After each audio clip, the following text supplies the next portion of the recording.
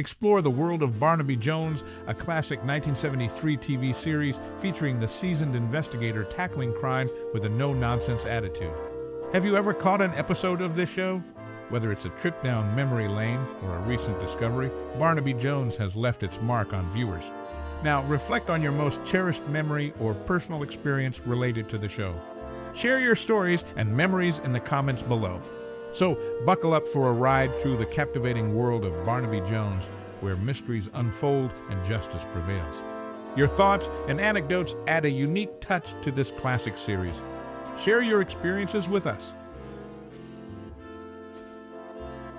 In the 1973 TV series Barnaby Jones, the narrative unfolds around the seasoned detective Barnaby Jones, portrayed by Buddy Ebsen. The show initially kicks off with an episode from the Cannon TV series, where Frank Cannon is hired to investigate the death of Hal Jones, a colleague of Barnaby. Hal had taken over the detective agency from his father, Barnaby, who had decided to retire. Following the tragic homicide of his son, Buddy Ebsen, accompanied by his daughter-in-law Lee Meriwether as his secretary, steps into the role, giving birth to a successful television series. Despite physical limitations due to his age, Barnaby proves to be mentally sharp on each case. The character of Ebsen's Barnaby is portrayed as a wise and shrewd investigator, confounding many adversaries who underestimate him. The initial appeal of the show resonated with the older audience, appreciating the depiction of a seasoned detective navigating through cases. However, as television always seeks to capture the youth market, Mark Shera joins the cast as J.R. Jones, Barnaby's nephew, injecting a new dynamic into the series. This addition allows for in-house handling of more physical aspects of investigations. Buddy Ebsen's career trajectory, spanning various roles from a musical dancing performer to Jed Clampett of the Beverly Hillbillies, showcases his versatility as an actor. His portrayal of Barnaby Jones adds another layer to his multifaceted career. Ebsen's ability to reinvent himself throughout his 95-year life serves as an inspiration to senior citizens everywhere. In summary, Barnaby Jones, with its intriguing characters and well-crafted plot lines, remains a testament to Buddy Ebsen's enduring presence in the world of television. The show successfully captures the essence of a seasoned detective navigating the complexities of crime-solving, blending drama and detective work seamlessly. During the making of the Barnaby Jones series, an interesting musical turn happened. At first, Jerry Goldsmith, a well-known composer, wasn't too impressed with the pilot. He thought about not doing the music. However, he eventually agreed and made the catchy theme song and scored the pilot, which ended up being longer than his other projects. A cool change in cars happens throughout the series. Barnaby and Betty keep getting new Ford models every year, which adds a touch of realism to the story. On the flip side, JR sticks with his reliable 65 Ford Mustang, a small detail in showing his character. What characters wear unexpectedly says something in the series. If someone wears a loud sport coat, it doesn't mean they're a killer, but it often suggests they might be up to no good. Pimps, drug dealers, or con artists like to show off with bold patterns or bright colors, giving a hint to the audience. All these small details make the show more interesting for viewers. From Goldsmith's music changes to the different Fords, and the hints in what characters wear, they all come together smoothly in the story of Barnaby Jones.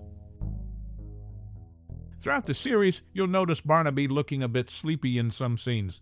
That's because Buddy Ebsen, the actor playing Barnaby, used to take naps between filming. JR's initials stand for Jedediah Romano, adding an interesting layer to the character's development. This small detail shows how much thought went into creating the story.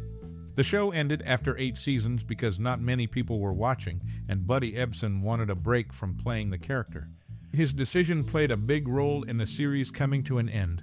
When the show's music was being made, the composer, Jerry Goldsmith, wasn't initially impressed with the pilot.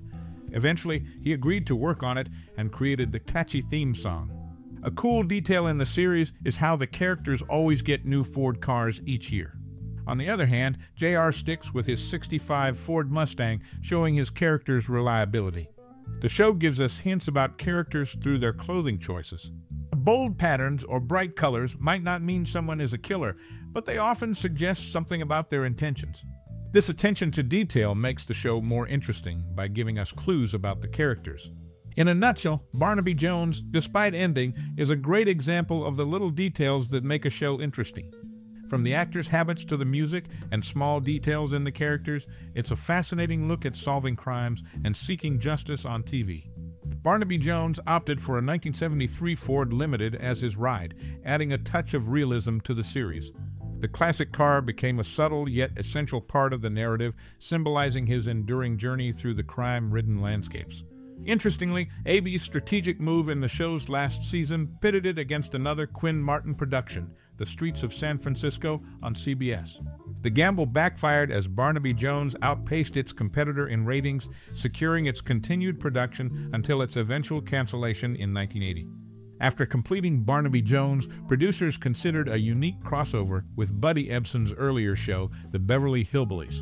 The proposed TV movie plot involved millionaire Jed Clampett's abduction, prompting the hiring of Barnaby Jones to track him down. While this crossover never happened, a similar storyline made its way to the 1993 big screen adaptation of Hillbillies, featuring Ebsen in a cameo as Barnaby Jones enlisted to find the missing granny. The series also took an unexpected musical turn during its creation. Initially hesitant, composer Jerry Goldsmith eventually crafted the catchy theme song, turning the pilot into one of his longer projects. Meanwhile, the introduction of new Ford models each year for the characters, in contrast to JR's steadfast 65 Ford Mustang, subtly underscores character dynamics. In the world of Barnaby Jones, character nuances extend beyond mere wardrobe choices. The show cleverly utilizes clothing details like bold patterns or bright colors to provide subtle hints about characters' intentions. These small but intentional details elevate the series, making it more intriguing for viewers seeking to decipher clues along with the seasoned detective. As the series progressed, viewers may have noticed Buddy Ebsen's occasional drowsiness on screen. This peculiar detail stems from the actor's habit of taking naps between filming, adding a human touch to his character. Additionally, the show introduces JR's full name, Jedediah Romano, offering a deeper layer to his persona and showcasing the thoughtful development invested in character arcs. Ultimately, Barnaby Jones concluded after eight seasons, influenced by declining viewership and Buddy Ebsen's desire for a break from his role. The series stands as a compelling example of the meticulous attention given to seemingly minor details, shaping a narrative of crime solving and justice seeking on television. Barnaby Jones, the seasoned detective in the 1973 TV series, drove his 1973 Ford Limited through crime-ridden landscapes, adding a touch of realism to the narrative.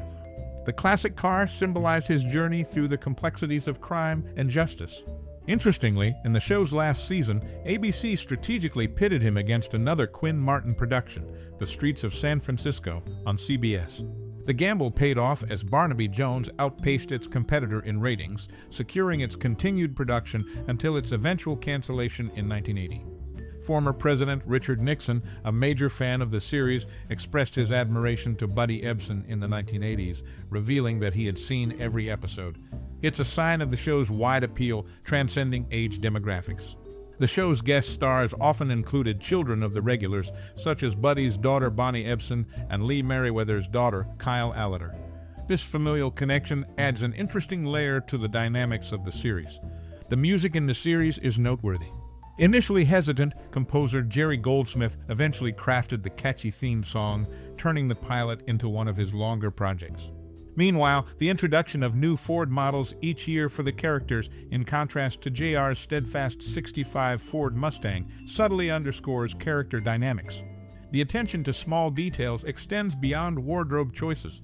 Bold patterns or bright colors in clothing often provide subtle hints about characters' intentions, enriching the viewing experience. As the series progressed, viewers may have noticed Buddy Ebsen's occasional drowsiness on screen. This peculiar detail stems from the actor's habit of taking naps between filming, adding a human touch to his character. Additionally, the show introduces JR's full name, Jedediah Romano, offering a deeper layer to his persona and showcasing the thoughtful development invested in character arcs. After completing the series, producers contemplated a unique crossover with Buddy Ebsen's earlier show, The Beverly Hillbillies. The proposed TV movie plot involved millionaire Jed Clampett's abduction prompting the hiring of Barnaby Jones to track him down. While this crossover never materialized, a similar storyline made its way to the 1993 big screen adaptation of Hillbillies, featuring Ebsen in a cameo as Barnaby Jones, enlisted to find the missing granny. In summary, the show, with its rich character nuances and attention to small but intentional details, stands as a compelling example of the meticulous craftsmanship that shapes a narrative of crime solving and justice seeking on television.